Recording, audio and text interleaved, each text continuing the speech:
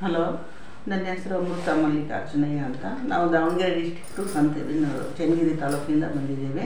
ನನಗೆ ಈಗ ಒಂದು ಐದಾರು ವರ್ಷದಿಂದ ಮಂಡಿ ನೋವಿತ್ತು ಈಗ ಎರಡು ಮೂರು ವರ್ಷ, ಮೂರು, ಎರಡನೇ ಸರಿ ಬಂದಾಗ ಚೆನ್ನಾಗಿತ್ತು. ಎರಡು ಸರಿ ಬಂದಿನಿ ಮೂರನೇ ಸರಿ ಕೊರೋನಾ ಆಗಿದ್ದಕ್ಕೆ ಎರಡು ವರ್ಷ ಗ್ಯಾಪ್ ಬಿಟ್ಟು ಈಗ ಬರ್ತಾ ಬಂದಿದ್ದೀನಿ. ಮತ್ತು ಬಂದ ತಕ್ಷಣ ಲಕ್ಷ್ಮಿ ಮೇಡಮ್ ಹತ್ರ ಎಲ್ಲ ತೋರಿಸ್ದೆ. ಅವ್ರು ಟ್ರೀಟ್ಮೆಂಟ್ ಸ್ಟಾರ್ಟ್ ಮಾಡಿದರು. ಇಲ್ಲಿ ಮಸಾಜು ತುಂಬ ಚೆನ್ನಾಗಿದೆ. ಡಾಕ್ಟ್ರೂ ಅದೇ ರೀತಿಯೇ ನಮ್ಮ ಹತ್ರ ಒಳ್ಳೆ ಪ್ರೀತಿಯಿಂದ ನಡ್ಕೊಳ್ತಾರೆ ಮಸಾಜ್ ಸೆಕ್ಷನ್ನು, ಮಸಾಜು ಸಹ ಭಾಳ ಪ್ರೀತಿಯಿಂದ ಮಾಡ್ತಾರೆ.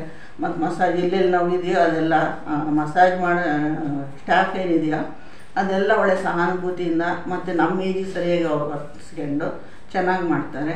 ಮತ್ತು ಡಯಟಿಗೆ ಬಂದರೆ ಡಯಟ್ ಏನೇನು ಹೇಳ್ಕೊಡ್ತಾರೆ ಮಾಡಿ ಬರ್ಕೊಟ್ಟಿರ್ತಾರೋ ಅದೆಲ್ಲ ಸೆಕ್ಷನ್ ಚೆನ್ನಾಗಿರ್ತದೆ. ಮತ್ತು ಕ್ಲೀನ್ನೆಸ್ ತುಂಬ ಚೆನ್ನಾಗಿದೆ. ಆಮೇಲೆ ಅಡುಗೆ ಮಾಡೋರಿಂದ ಹಿಡಿದು ನನಗೆ ಮಂಡಿ ನೋವು ಆಗಿರೋದ್ರಿಂದ ಮೇಲೆ ಕೆಳಗೆ ನಡಿಬೇಡ್ದಮ್ಮ ಅಂತ ವೀಲ್ ಚೇರ್ ಪ್ರಿಪೇರ್ ಮಾಡಿದರು.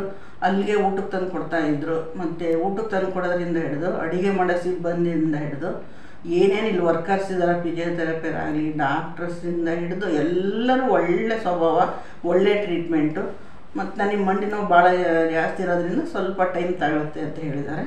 ಆದಷ್ಟು ನನಗೆ ಇಲ್ಲಿ ಹೆಂಗಪ್ಪ ಪರಿಚಯ ಆಯಿತು ಅಂದರೆ ಪ್ರಾಣೇಶ್ ಒಂದ್ಸರಿ ನಮ್ಮ ಟಿ ವಿಗೆ ನೋಡಿದಾಗ, ಅವ್ರಿಗೆ ಬೆನ್ನು ಭಾಳ ಆಗಿತ್ತು, ನಾನು ಹಿಂಗೆ ಆಪ್ರೇಷನ್ ಮಾಡ್ತೀವಿ ಅಂದಿದ್ರು ಡಾಕ್ಟ್ರು.